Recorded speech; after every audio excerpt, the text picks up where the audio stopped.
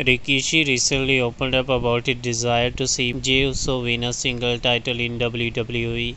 The legend firmly believes his son and former Bloodline faction member Jey Uso deserve to win some gold in the promotion. Jey Uso's popularity has surged to unforeseen levels in recent months despite being at the top of the card. Jey Uso has failed to win a single title all of his attempts, most recently at Backlash 2024, where he challenged Damian Priest for the World Championship, have been in vain.